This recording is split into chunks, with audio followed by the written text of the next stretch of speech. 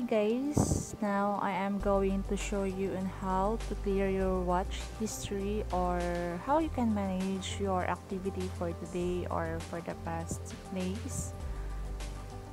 First you have to open your YouTube. You may click here on your profile then click the time watch. Now you can see you have your time watch for 27 hours you watch. Videos it will appear on this.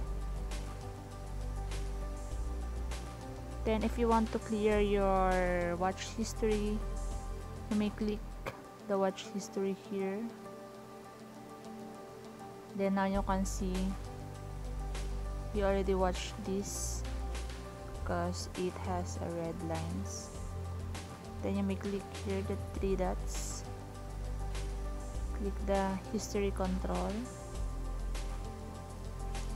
You may click the clear watch history or clear search history. Any of these.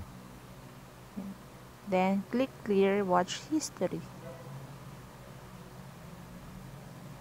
Run click clear search history. You now see Ta-da! It's already zero. It's already back to zero. Because he already cleared the watch history. Okay. I got these fresh eyes.